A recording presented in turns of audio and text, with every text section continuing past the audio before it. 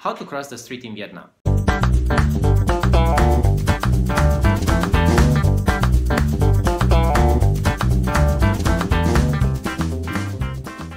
Hey, I'm Timi, and this is the channel where we talk about different things from Vietnam and Asia in general. If you are new here, make sure you subscribe.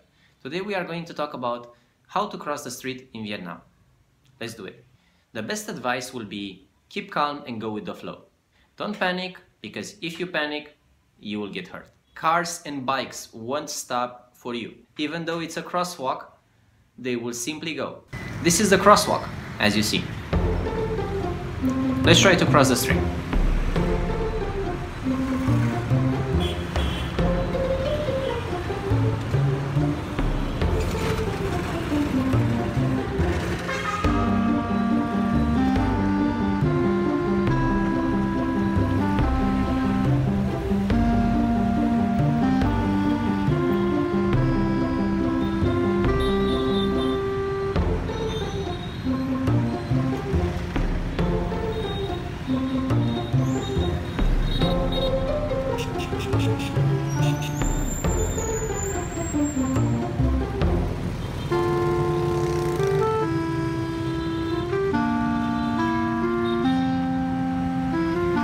So as you can see, this is during the day, but it's scarier during the night.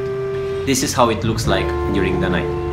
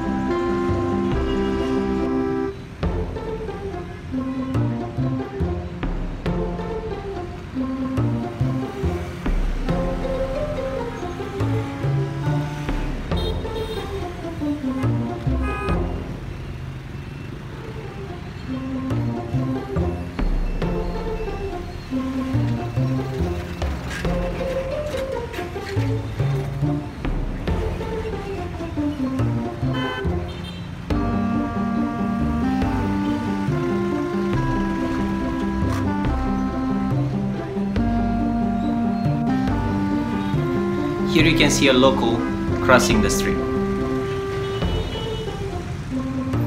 As you can see, he is just waiting for all the cars and bikes to go. Basically, he knows that all the cars and bikes won't stop even though it's a crosswalk.